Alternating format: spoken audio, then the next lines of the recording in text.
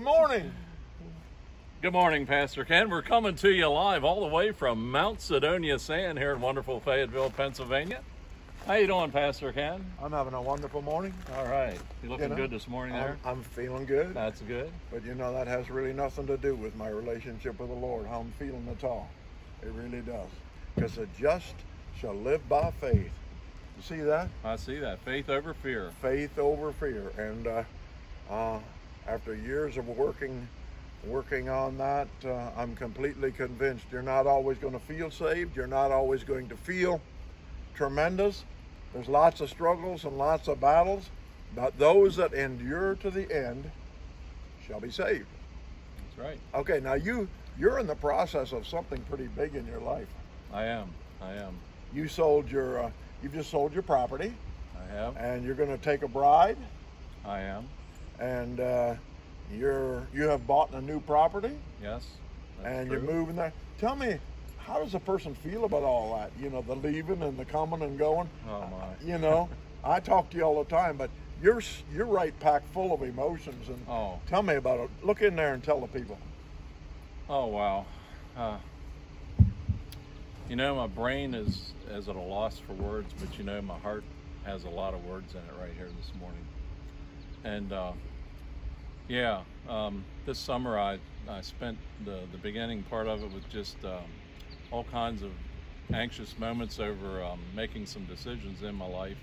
Um, primarily, yes, um, selling my home uh, out in Marion and and um, You course- felt very, uh, very stressful about moving away from something that God had Oh, given my. you years ago, didn't yes, yes, yeah. It was just, you know, folks, I was holding on to things so much, um, and you know, moving away from anything or leaving, however you want to put it, is uh, something that's pretty hard for me. I don't know if it's that way for you, but uh, that's what it was. you? You It- think we hold on to this earthly stuff way too much? Wow, you hit the nail on the head. I mean, you know, a house, um, they always say, you know, a house isn't a home without the people in it, but you know, that's that has some truth there where, um, yeah, my house was a home because it had people in it and, uh, you know, there was love in my home and everything, but you know, the house was just a building. Yeah. It was like I told you at breakfast, it was bricks, blocks, nails, screws, boards, whatever you want to say. Yeah. And, and I held on to those items. Yeah. You know something? Talking about holding on to this stuff.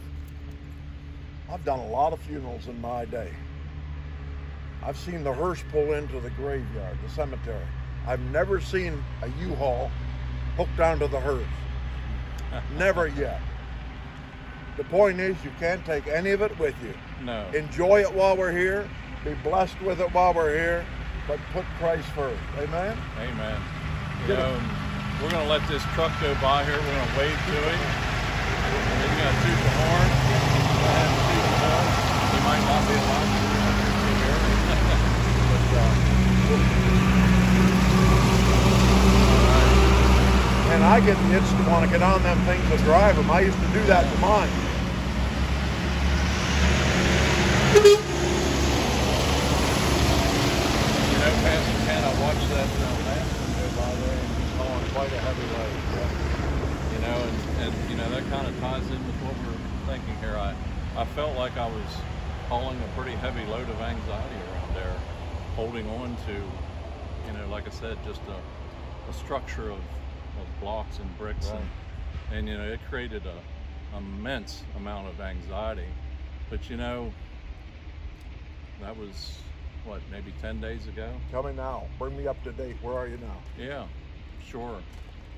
I just have an incredible sense of peace. Really? I really do. I I honestly do.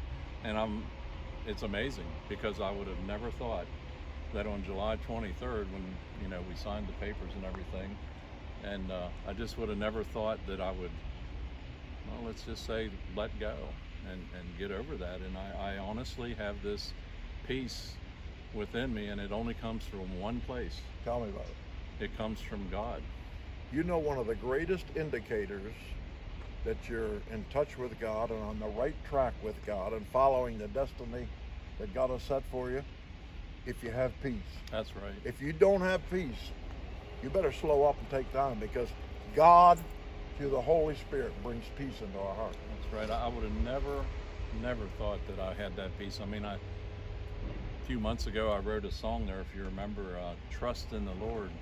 You know, and I was in the kitchen of my home there when that came to me, and I and I knew I had to trust in the Lord, but I still had that anxiety, and and that's what I worked on until July 23rd, and I'm still working on it. But you know, by trusting in the Lord, He is the one that got me through, and He's the one that was able to give me that peace.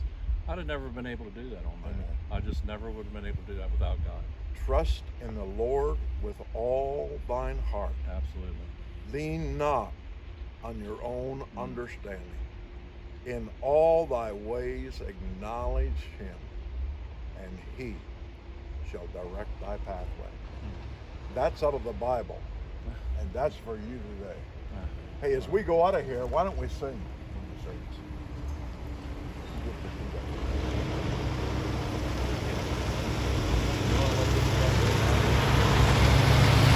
We got another truck going by, folks.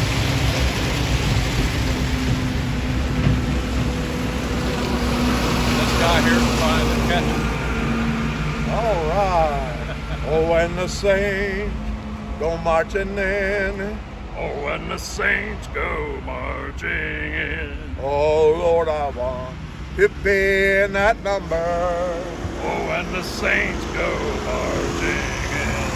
When they crown him Lord of all. When they crown him Lord of all.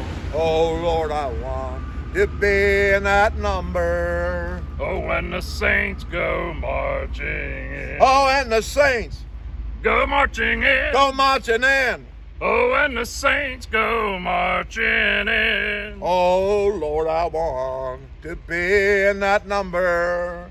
When the saints go marching in. Would you please pray us out of here today and, I and bless will. the people in Jesus' name?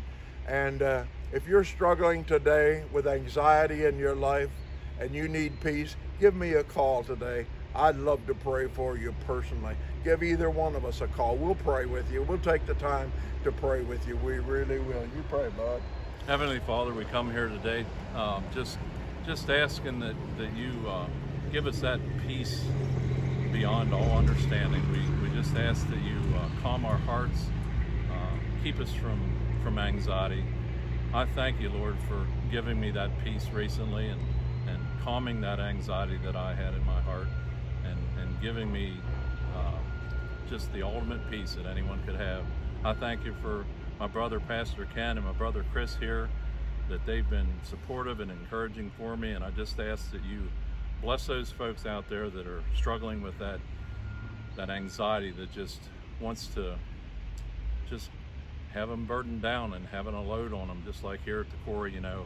Uh, I just felt like I had a heavy load, and I thank you, Lord, for for just letting that load just dump right off of me. And I just pray for the people out there that that you will help them the same way.